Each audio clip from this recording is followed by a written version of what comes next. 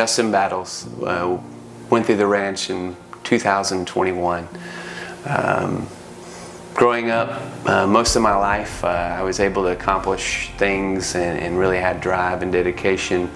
Um, we got married at a very young age and just kind of started raising a family and, and got into life. And as life got busy, uh, kind of began to look forward to the weekends and the things that come with that. And then as life went on, um, the weekends turned into weeknights, and before you knew it, I had really ran ran far from God and just got so caught up in what life has out there. And I found myself in 2020 losing most of the things in life that God had brought me.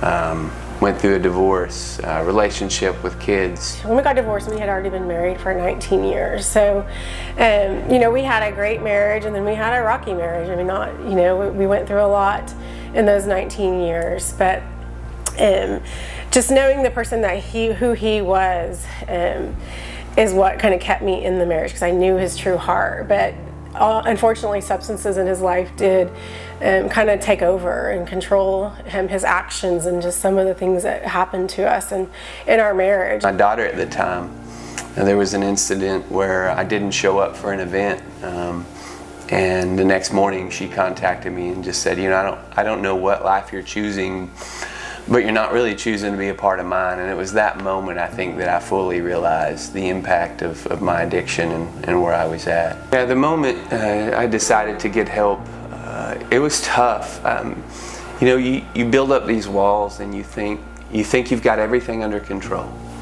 Um, even even when everything around you is burning, you, you think everything's under control. This is not this is not an issue for me. Uh, when I finally made that realization, that that moment was tough.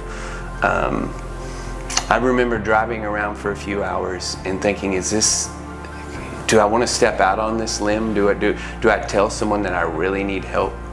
Um, do I really want to make this phone call?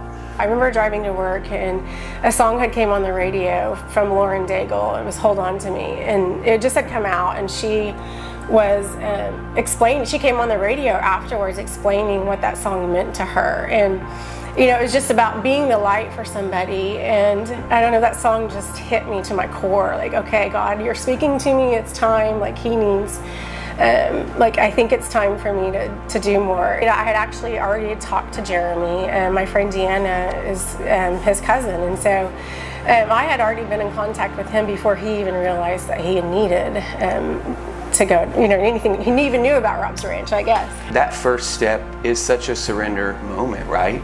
Um, it, it's saying, hey, I am not in control, I need help. And ultimately, that is allowing God to come in and begin His work. And sometimes that's even now, uh, three and a half years into recovery, even now it's, I still have to surrender things every day and say, all right, God, you got this. Um, I'm here, I'm gonna listen. Stepping into Rob's Ranch, my first day was March 15th of 2021.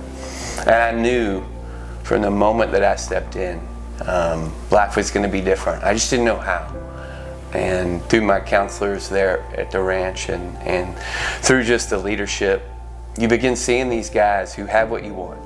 And, and you don't know how they got it, but they're gonna, they're gonna help you get there. And by being committed through that process, it's entirely changed my life. It's changed my relationship with God. It's changed my relationship with my family. Um, and ultimately, you heard me reference a divorce. That's why my wife Danae is here with me today. Um, so much so that God led her back into my life in a manner where today we're a godly family. I knew the man that I had loved my whole life was um, going to get the help and that maybe there was hope for us again. Um, and so it was like my wall just came down and we started immediately talking. Um, I journaled every day that he was in Rob's Ranch. We talked on the phone every day. Um, and those conversations were just completely different, like seeing his spiritual walk and just his relationship with God change. And I am so blessed that he went to Rob's Ranch and got the help that he needed and the tools that he needed because our life is completely different now, so much better. We did, we got remarried um, and the kids, his relationship with our children just they weren't didn't weren't on board with us getting um, remarried at first or dating. They were still very hurt, and so that took some time. I mean, he had to build relationships back with myself and our children. As hard as that all was, and all of the trauma and all the things we went through, where we are at today with our relationship with God and with each other and our, our children, um, I almost, I mean, it was worth it. I feel like it was worth it. I think it's easy to to look at your life and say, "Man, all these things have happened to me. Why?" When the reality is, you know, God's always working everything for our good, and I don't know that I would change anything about our story. And that's I'm not sure I would have said that, you know, even three years ago starting this journey. But just because of the avenues and the doors that it's opened to have real conversation with other people that are hurting and, and go, you know what, God God is there, even when you think He's not. No matter how much you think you you have it together, no matter how strong you think you are, um, it's okay to ask for help. It's okay to say, you know, I can't beat this thing and I don't know how to do it.